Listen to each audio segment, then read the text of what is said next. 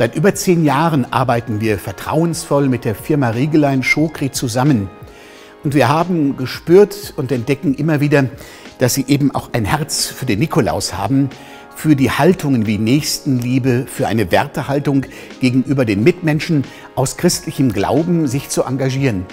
Und von daher haben wir uns entschieden, mit der Firma Schokri Riegelein auch Produkte und den Dien weiterzuentwickeln.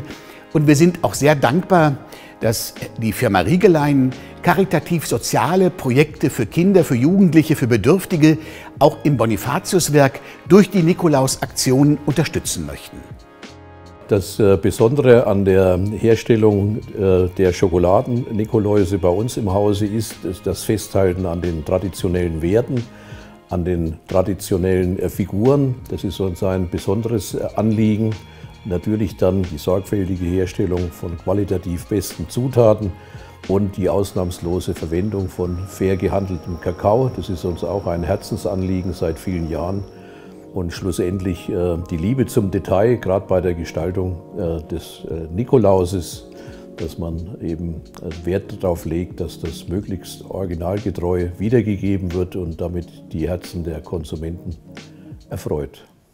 Und von jedem Nikolaus, der beim Bonifatiuswerk gekauft wird, geben wir als Bonifatiuswerk 30 Cent für karitativ-soziale Projekte, seien es Hospizdienste, sei es Kinderprojekte oder für weitere Bedürftige. Und deswegen möchten wir Sie bitten, unterstützen auch Sie diese Projekte.